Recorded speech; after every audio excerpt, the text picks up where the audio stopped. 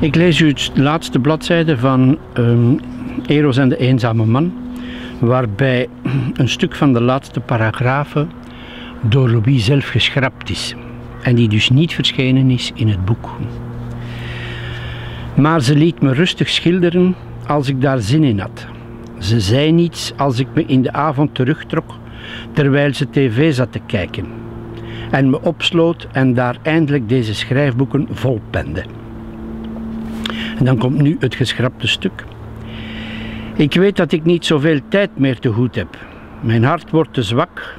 Ik hoop alleen nog dat ze na mijn dood mijn schilderijen niet gaat vernietigen. En deze schrijfboeken niet achter in de tuin zal in brand steken.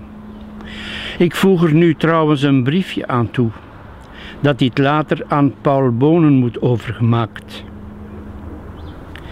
Ik hoor niets meer van hem. En hij weet niet waar ik één ben. Zelf lees ik geen kranten of kijk geen tv, zodat ik niet weet in hoeverre hij beroemd is geworden, of zijn boeken opgehemeld of vergruist raken. Louis Porbon, 15 maart 1979. Houdt u van het werk van, uh, van uw vader? Dat is een hele eigenaardige vraag, ja. ja.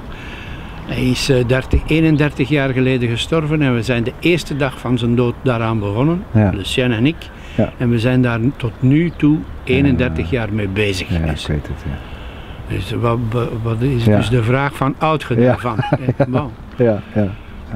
Natuurlijk. Ja, nee. Dat is precies of dat dat uh, ja, mijn werk is. Ja. Ik bedoel niet het literaire zo, Nee. maar, maar ik heb me dus in de eerste plaats bezig gehouden met al wat te maken had met zijn schilderwerk. En, Ja. zo. en vermits ik opleiding als fotograaf had gekregen, dat beeld lag mij dus wel. Dus heb ik daar jaren aan gewerkt, aan, aan die dingen. Ja. Voilà.